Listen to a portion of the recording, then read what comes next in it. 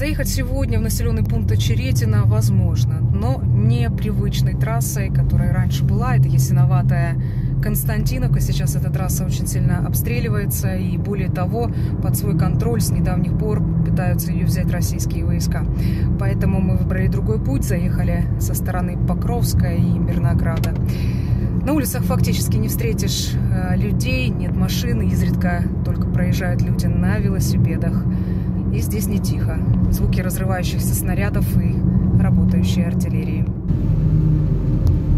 В укрытиях люди сидят уже 4 месяца. Они объединились, чтобы жить вместе. Весной грелись у печи, сделанной своими руками. Организовывали общий быт. Понимая, что могут быть проблемы с водой, запасались заранее. У вас прям вот каждая ну, там отделена? У нас тут ну, женщина, она болеет, поэтому... Сколько у вас вообще всего человек Ой, вот в вообще подвале? у нас больше 20 человек.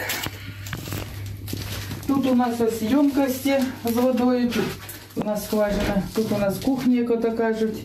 Ну і тут ось у нас ще є така кімната на всі случаї життя. Тут у нас як склад, і оце все. Отак от ми живемо. Людей было больше, говорит местная жительница Ольга. Многие не выдержали обстрелов и решили вывести детей. Семья с девочкой э, та самая, и семья еще мать э, с дочкой, с внучкой.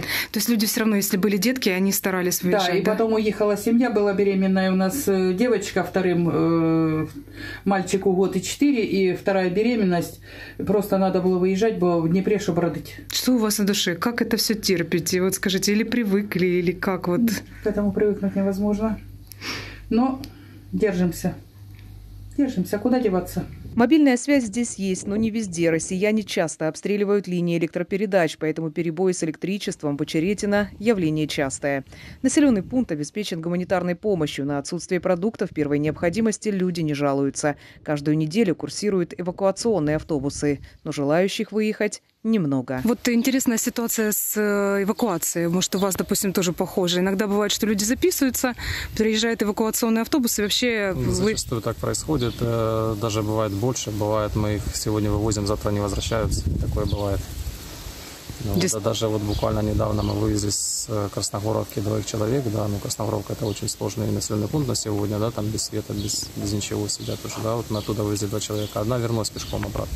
До 24 февраля в Очеретинской общине проживало около 24 тысяч мирных жителей. Сейчас осталось чуть более 6 тысяч человек. По словам главы военной администрации, в общине есть села, откуда удалось вывести всех людей, что помогло избежать жертв среди мирного населения.